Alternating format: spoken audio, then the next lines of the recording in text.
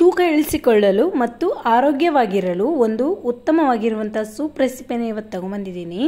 ನಮಸ್ಕಾರ ವೀಕ್ಷಕರೇ, ಎಲ್ಲರೂ ಹೇಗಿದ್ದೀರಾ? ವೆಲ್ಕಮ್ ಬ್ಯಾಕ್ ಟು ದ ಬೋರ್ಕಸ್ ಚಾನೆಲ್ ಈ ಹೆಲ್ದಿ ಸೂಪ್ ಮಾಡಲಿಕ್ಕೆ ನಾನು ಮೊದಲನೇದಾಗಿ ಒಂದು ಬೌಲಷ್ಟು ಹೆಸರು ಕಾಳನ್ನು ನೆನೆ ಹಾಕಿಟ್ಟಿದ್ದೆ. ಅದು ಚೆನ್ನಾಗಿ ಮೊಳಕೆ ಬಂದಿದೆ. ಈಗ ಈ ಮೊಳಕೆ ಒಡೆದ ಹೆಸರು ಕಾಳನ್ನು ನಾನು ಚೆನ್ನಾಗಿ ಒಂದು ಸರ್ತಿ ನೀರಲ್ಲಿ ತೊಳೆದು ಕ್ಲೀನ್ ಮಾಡಿ ಇಟ್ಕೊಳ್ತಾ ಇದ್ದೇನೆ.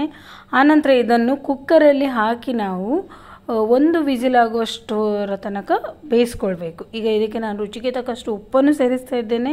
ಆಮೇಲೆ ಒಂದು ಗ್ಲಾಸಷ್ಟು ನೀರು ಕೂಡ ಆ್ಯಡ್ ಮಾಡಿದೆ. ಈಗ ಕುಕ್ಕರನ್ನು ಮುಚ್ಚಿಟ್ಟು ಒಂದು ವಿಜಿಲ್ ಆಗುವ ತನಕ ನಾವು ಇದನ್ನು ಬೇಯಿಸ್ಕೊಳ್ಳೋಣ.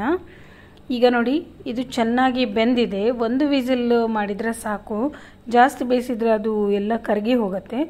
ಸೊ ಬೆಂದಿರುವ ಈ ಹೆಸರು ಕಾಳನ್ನು ನಾನು ಮಿಕ್ಸಿ ಜಾರಲ್ಲಿ ಹಾಕಿ ರುಬ್ಕೊಳ್ತಾ ಇದ್ದೇನೆ. ಜೊತೆಗೆ ಒಂದು ಎರಡು ಹಸಿಮೆಣಸು ಹಾಗೂ ಸ್ವಲ್ಪ ಕೊತ್ತಂಬರಿ ಸೊಪ್ಪನ್ನು ಕೂಡ ಸೇರಿಸಿದೆ. ಈಗ ಇದು ತರಿ ತರಿಯಾಗಿ ನಾನು ಪೇಸ್ಟ್ ಮಾಡಿಕೊಂಡೆ. ತುಂಬ ಫೈನಾಗಿ ಅಂತ ಏನು ಪೇಸ್ಟ್ ಆಗಿಲ್ಲ. ಇಷ್ಟು ಸಾಕಾಗುತ್ತೆ ಈ ಸೂಪಿಗೆ.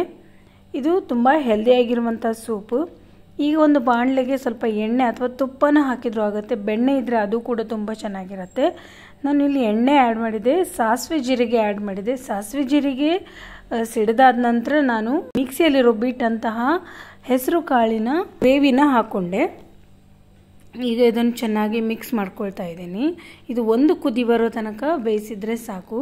ಮೇಲಿಂದ ಸ್ವಲ್ಪ ನೀರು ಕೂಡ ಆ್ಯಡ್ ಮಾಡಿದೆ. ರುಚಿಗೆ ಮೇಲಿಂದ ಒಂಚೂರು ಉಪ್ಪು ಆ್ಯಡ್ ಮಾಡ್ತಾ ಇದ್ದೀನಿ. ಈಗ ಇದು ಒಂದು ಕುದಿ ಬರೋ ತನಕ ನಾವು ಬೇಯಿಸ್ಕೊಳ್ಳೋಣ. ತುಂಬ ಘಮ ಘಮ ಪರಿಮಳ ಬರ್ತಾ ಇದೆ. ತುಂಬ ಈಸಿ ಆ್ಯಂಡ್ ಕ್ವಿಕ್ ಆಗಿರುವಂಥ ರೆಸಿಪಿ. ಆರೋಗ್ಯಕ್ಕೆ ಸಿಕ್ಕಾಪಟ್ಟೆ ಒಳ್ಳೆಯದು ಇದರಲ್ಲಿ ಪ್ರೋಟೀನ್ ಅಂಶ ಹೇರಳವಾಗಿದೆ. ಹಾಗಾಗಿ ಇದನ್ನು ನಾವು ನಿತ್ಯ ಸೇವಿಸಿದರೂ ಕೂಡ ತುಂಬ ಒಳ್ಳೆಯದು ಈಗ ಇದು ಒಂದು ಕುದಿ ಬರ್ತಾ ಇದೆ ನಿಧಾನಕ್ಕೆ. ತೂಕ ಇಳಿಸಿಕೊಳ್ಬೇಕಂತ ಆಸೆ ಇದ್ದರೆ ಇದನ್ನು ನಿಯಮಿತವಾಗಿ ಸೇವಿಸ್ತಾ ಇದ್ದರೆ ತುಂಬ ಒಳ್ಳೆಯದು ಇದರಿಂದ ನಮ್ಮ ದೇಹಕ್ಕೆ ಬೇಕಾಗುವಂಥ ಎಲ್ಲ ಪೋಷಕಾಂಶಗಳು ಆರಾಮವಾಗಿ ಸಿಗುತ್ತವೆ. ಸೊ ಇದನ್ನೀಗ ನಾನು ಸರ್ವ್ ಮಾಡಿದ್ದೀನಿ. ಇದು ಒಂದು ಬೌಲ್ ತಿಂದರೆ ಹೊಟ್ಟೆ ಫುಲ್ ಅನಿಸುತ್ತೆ. ಆಮೇಲೆ ತುಂಬ ಒಳ್ಳೆಯದಿದು ಸೊ ವೀಕ್ಷಕರೇ, ನೀವು ಕೂಡ ಇದನ್ನೊಮ್ಮೆ ಟ್ರೈ ಮಾಡಿ ನೋಡಿ. ನಮ್ಮ ರೆಸಿಪಿ ಇಷ್ಟ ಆಗಿದರೆ ಲೈಕ್ ಶೇರ್ ಕಮೆಂಟ್ ಮಾಡಿ. Thank you for watching